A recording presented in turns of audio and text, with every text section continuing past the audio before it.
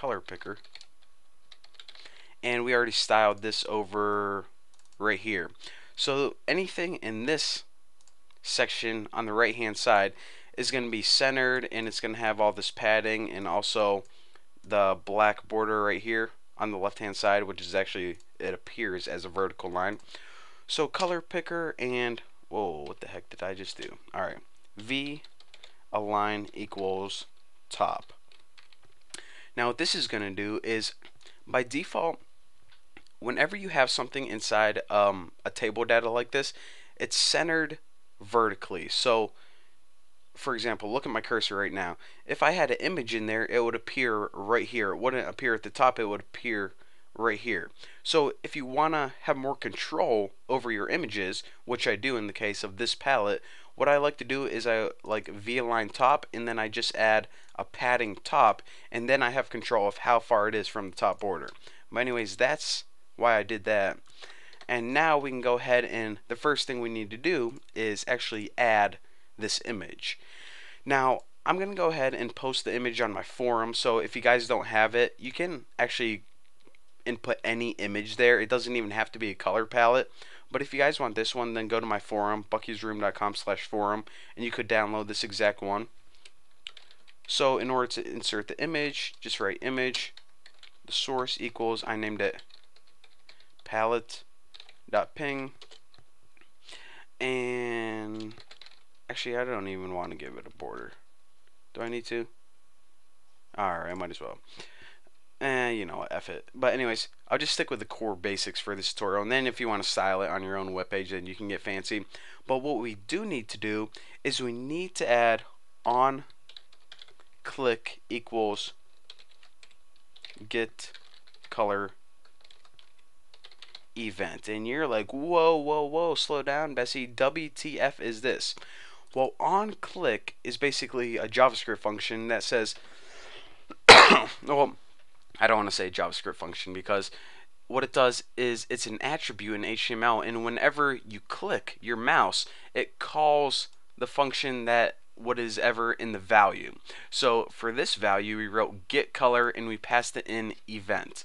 Now, later on, what this JavaScript function is going to do is it's basically going to retrieve the color.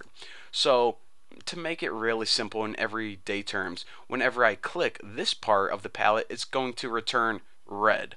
Whenever I click, you know, this part of the palette, it's going to return blue. So that's what this on click does. As soon as I click, it gets the color. And again, it's a little bit more detailed than that, but you'll see in JavaScript. I just give you guys a real, you know, basic introduction. Next, I just want to insert one more tag, BR for Bucky's Room. Everyone should join. And after this, let me just go ahead and add an input. Now this input right here is going to be a default uh, form value. So let me go ahead and code this and then I'll talk. ID equals color type equals hidden read only equals true, and I'll talk about what all this means in a second. And value equals 0, 0, 0, 0, 0, 0. Boom roasted. Alright, so you guys are saying, what the heck is this? I'm looking at the section and there is no input box. Why do you have that? Well, the reason I have this is because we need to have a hidden value that doesn't display. It's basically a default value, and that's what this read only means read only true, and if you guys never seen this attribute in HTML for, before, it means that it cannot be modified. You can only read it, you can't edit it at all. So that's why it's hidden because we don't want the user to interact with this element at all. It's just uh, you know something that we're going to be working with in JavaScript later on. So that's why I want it. Basically, before the user picks the color, um, you know we have to give them a default color. Ugh, have a little hiccup, stuff like that. But anyways, the last thing I want to do is I want to add this little thing. Text will look like this, and this is just a simple little prompt to let the user know, hey, this isn't just, you know, a random image on the right hand side of your screen. You have to actually click on one of these and your text is going to look like that. So always nice to let the user know what the F is going on. So span and I want to give this the ID of, actually I don't even think I did it. Actually, yeah, we don't even need that. I styled it in my other example. But for right now, all we need to do is go ahead and write it. So text will look like this. So now, whenever we run this program, we're going to get this little prompt on the screen. And like I said, now the user knows what the F is going on. So that is all we need to do to style the chat room itself. So now we styled pretty much this entire table, everything that's highlighted in blue.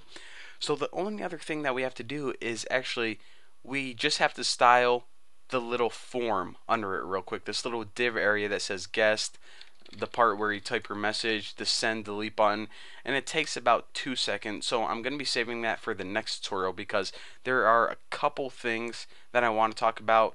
Um, how this, you know, intertwines with your JavaScript file later on. So I'm gonna go get like some freaking cough drops or something, and probably some McDonald's because I'm a little tubby. And well, thank you guys for watching, and uh, well, I'll see you later.